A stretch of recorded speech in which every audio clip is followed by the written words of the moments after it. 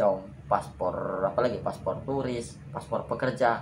Ya kalau namanya paspor itu teman-teman ya paspor ya tetap ya paspor. Yang membedakan itu pisahnya teman-teman bukan paspor. Ya kalau paspor ya tetap hijau tua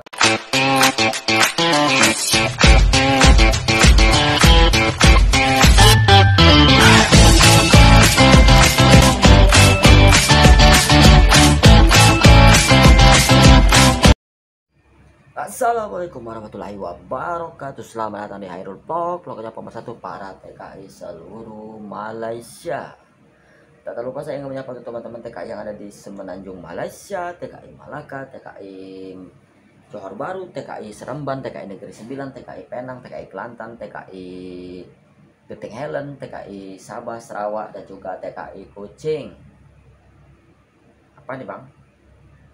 Tunggu, tunggu sahabat-sahabat kita lagi stay tune ya stay tune kita lagi berbenah-benah ya soalnya berbenah-benah apa bang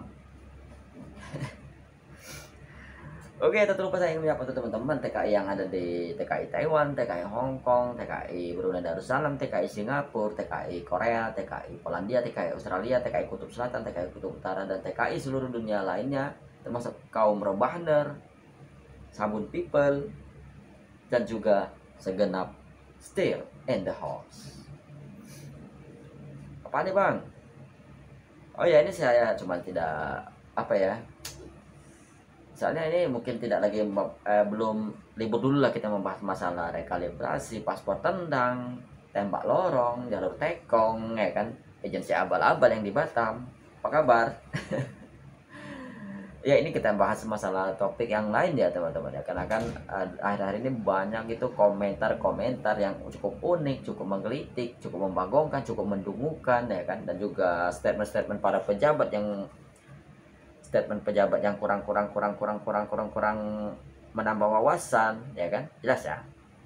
Bang abang ini kok bahas masalah pejabat-pejabat ya kan banyak pejabat-pejabat itu kan rata-rata sekarang ini banyak statement yang membagongkan, mengambigukan ya kan. Walaupun sekelasnya profesor tetap kita komentar ya kan. Ya kan. Ya bukannya kenapa kadang-kadang orang ini kalau kelewatan cerdas ya kan justru membuat orang itu sendiri membakin bodoh gitu kan, membakin mendungukan gitu ya kan buat Rocky Gerung ya kan Repli Harun ya kan. Bang kok larinya ke sana? Ya nggak apa-apa karena kan saya kan hobi-hobi juga nonton-nonton nonton-nonton tentang seputar-seputaran politik. Tapi saya spesialkan untuk video ini bukan untuk bahas masalah politik ya kan masalah masalah apa ya? Masalah politik masalah capres Hairul Vlog ini dibuat untuk khusus informasi seputar TKI seluruh Malaysia dan juga TKI seluruh dunia pada umumnya ya kan Bang? Yang membahas masalah pernak-pernik seputar TKI ya kan? Sepak terjang seorang TKI.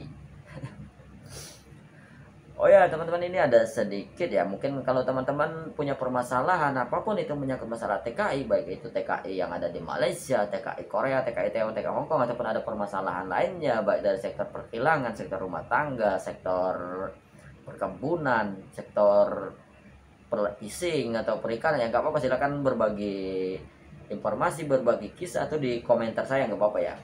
Dan mungkin nanti saya akan bahas di video saya ya kan untuk masalah jika memang masalah teman-teman itu agak rumit atau ribet atau masalah teman-teman itu mungkin belum bisa saya mungkin saya akan bikinkan video ya teman-teman ya. Dan juga terus saya ingin banyak kembali mengucapkan selamat menunaikan ibadah puasa kepada teman-teman semua seluruh dunia pada umumnya ya kan? Bang abang sekarang kok lain ya? Ya kan kenapa, kenapa teman-teman? Sekarang kan banyak itu teman-teman kita ya kan? Kadang-kadang berkomentar yang di luar nalar ya kan? Yang ilmunya kadang-kadang nggak sampai saya maksudnya bukan teman-teman yang menonton video ini ya. Saya yang kadang-kadang ilmu saya kadang-kadang agak mudeng ya kan? Apalagi dari bangun tidur ya kan? Kadang-kadang ngeblank apa tuh bang? Ngeblank bang? Ya kadang-kadang nggak ya namanya ngeblank kadang-kadang error. Kadang-kadang pikiran kita nggak sampai ke sana. Baru setelah set, satu jam dua jam bahkan setengah hari baru terpikir oh ini solusinya gitu ya. Gimana? Masih berusaha masuk ke Malaysia melalui jalur pelancong? Bang bagaimana membuat paspor pelancong kadang kan paspor pelancong kadang-kadang lucu teman-teman ini. Kadang-kadang berkomentar paspor pelancong paspor apalagi paspor turis paspor pekerja. Ya kalau namanya paspor itu teman-teman ya paspor ya tetap ya paspor. Yang membedakan itu pisahnya teman-teman ya bukan paspor. Ya kalau paspornya tetap hijau tua kalau untuk warga negara Indonesia ya. Jelas ya? Yang namanya paspor ya tetap sama mau masuk ke negara mana pun itu paspor kita ya tetap satu. Itu paspor cuman yang membedakannya yaitu visanya teman-teman ya. Atau permitnya jelas ya. Ada permit pekerja ada visa pekerja visa pelancong visa visa apa ya? Visa spesial pas. Ya kan berbagai macam macam visa ya kan teman-teman ya.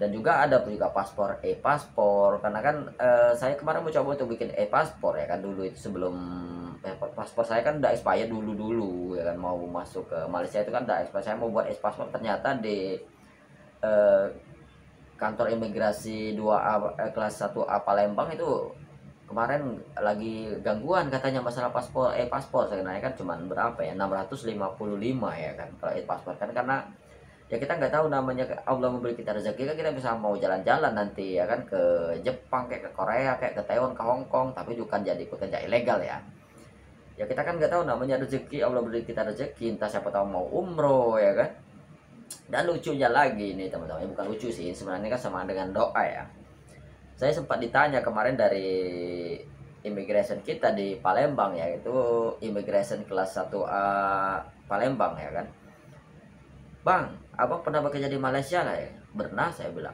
Terus abang pekerjaannya apa sekarang di Indonesia? Saya pedagang. Lah, abang buat paspor apa tujuannya? Insya Allah saya bilang saya mau bikin bikin paspor ini untuk umroh. Ah, abang kapan mau umroh? Insya Allah secepatnya saya bilang. Mereka diam. Karena kenapa ya? Kan namanya ucapan kita itu kan adalah doa, teman-teman. Makanya buat teman-teman semua TKI yang di sini ya saat ini masih merasa kesusahan, merasa kesulitan, ya kan? jadikanlah kesusahan teman itu jadikanlah ucapan teman itu sebagai doa apalagi ini di bulan puasa ya kan doa itu cepat terkabul jadi saya sarankan untuk teman-teman semua yang ini berbicara yang baik-baik jadikan setiap ucapan teman-teman itu adalah doa. Bang abang ini kok sekarang udah jadi ustadz udah jadi kiai ya? Ya teman-teman ya karena kan sesama sesama umat Islam itu saling mengingatkan. Apalagi kan di bulan bulan suci Ramadan. Ya kita kan nggak tahu nanti di bulan suci Ramadan atau apa kita masih berjumpa kembali dengan bulan Ramadan. Apa enggak kita kan nggak tahu ya. Walau alam lah. Itu Allah yang lebih maha mengetahui ya. Dan juga bagi teman-teman semua yang baru menemukan channel ini tolong dibantu untuk subscribe like and comment. Tonton videonya sampai full apa yang mau dibahas ya kan?